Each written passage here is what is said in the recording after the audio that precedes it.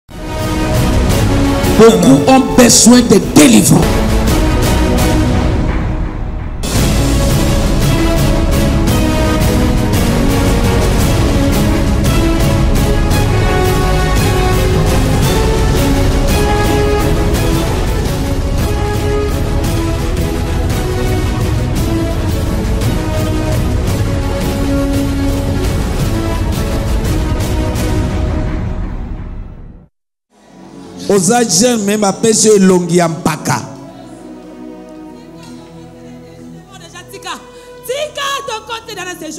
bokoti deja oh ye bazoentere ye kala mingi te ye atelemeli balwa ya libota asempoze alobi aza intercesseur azobebisa misala na biso tokoboma ye tokoboma ye lokola alinga akata balie ya libota akata lwa ya libala akata lwa ya provote tokoboma ye lien nyonso ya libota na kati yango ce matin lwa nyonso ya libota na kati yango na bebisi lie nyonso bobala te bobonga te na kati na detruire natumbi na moto ya molimo santu au nom de jésus Au nom de Jésus-Christ. bamama na ye babala te mama abota ya bala te koko na ye abala te ye mpe akobala te yoka lwa nyonso etabli na renverse yango au nom de jésus ozobonga au nom de jésus yesu alobi à mon nom Vous chassez les mauvais esprits. Yoka, toute activité des mauvais esprits. Na vie na yo, na bengana, na paralysé, na détruit yango. Oza libéré. Oh. Oyo koya ko tete la dimanche prochain. Nazo yebisa yo. Zambe asepeli na tongo alelo.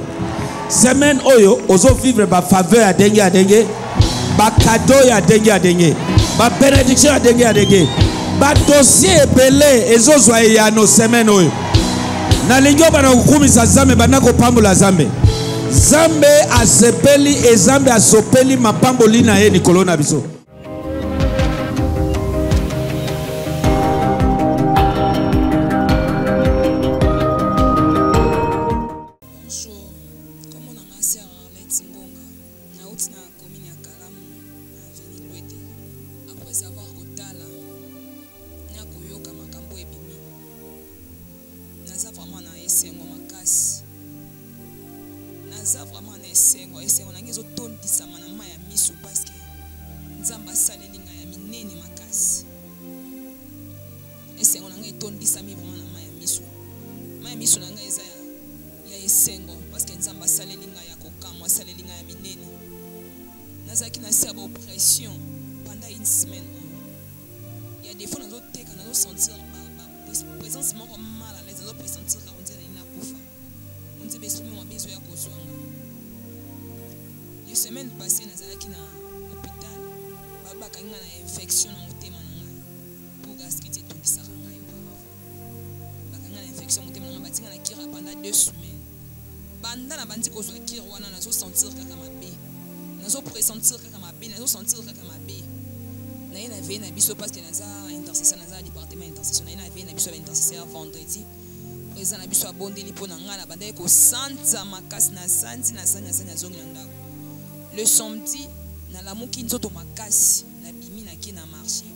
mpo nakei koteka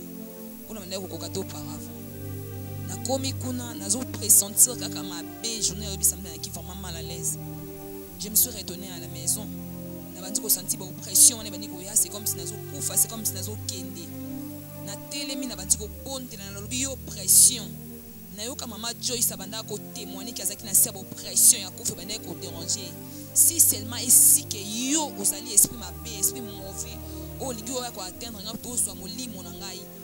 nayoka papa dayo koloba ke liwa ekoya ma ekopesa mokongo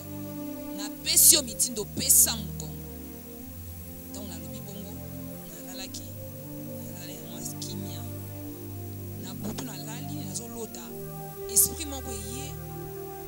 ezozwa nga etelemisi nga esika nalalaki ezokende nanga me nazomona nzoto nanga etikali me esprit nanga babimi nango libanda ya portail na biso nazomoni bongo banda 3 fois to namoni bongo banda 3 fois nalamuki na bondeli nalali nalamuki na ntongo nazalaki na fatigue tellement fatigué vraiment maman biso ya msina lamuka kende kosambela lamuka kende kosambela lamuka kende prière na suko na komi kutu ar na église na 8 heures kokoma na komi na église na 8 heures papa ntango abandi adoration na sentir présence moko ekoti kati na ngai namoni bafongoli portail ya parcelle na biso na vision nakangi miso naomona bafongoli portail ya, ya lopango na biso batie foto na ngai liboso corbiar ezokota na ngai bazolela ngai wana papa aza na kati ya adoration azo adore ntango papa abandi kosala baforte déclaration nayoki mbala moko nabandi kotremble nzoto na ngai mobimba na ndenge nayaki koseretrouve liboso na ndenge naleki na délivrance en tout cas nakoyebisa bato olie ya koluka bamédecin olie ya kodepense bambongo olie ya kobanga baoppression baluka nzambe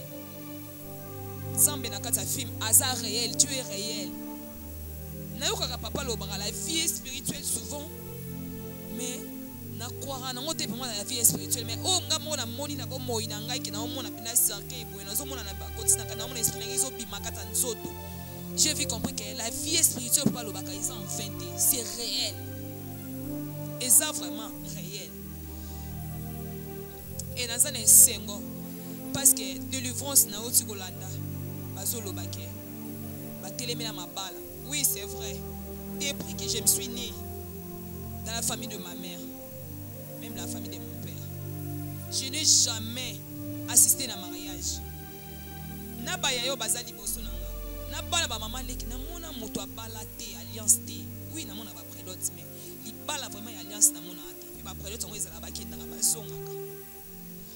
antuka nzambe aza monene kati na filme nzambe ya filme aza monene nzambe ya papa dayo samuel aza monene mpe aza makasi nakoyebisa bato oyo baza na baproblème oyo ezoderange bango oyo baza na se ya bopression ezotungisa bango bazoyeba te babanda basuka wapi Adresse eza kaka moko. Vista 6. Vista 6 na matongi pa pasteur Dayo Samuel, papa Dayo Samuel. Nzambe na ye azosala. Si ton Dieu est mort, et c'est le mien. Soki Nzambe na yo akufa, meka ya papa na ngai Dayo Samuel, okomona elonga mpe bikamwa. Nyonso ezalaki problème epa na yo, ekokoma raison. Namiyebaki te papa.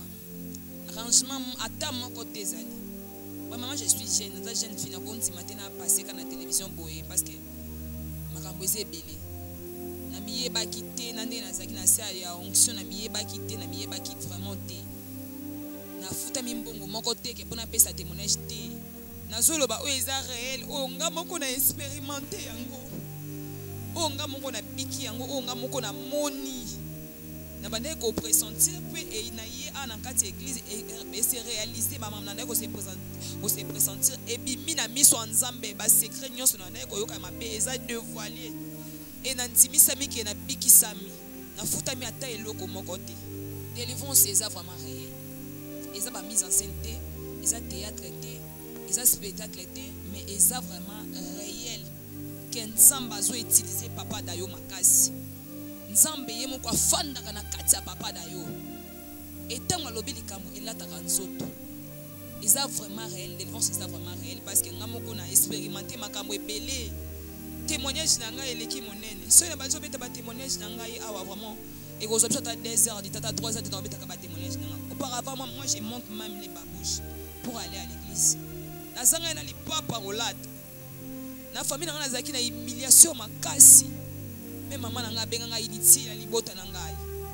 me lelo mama na ngai abengaka ngai yaya olobi nini tosala nini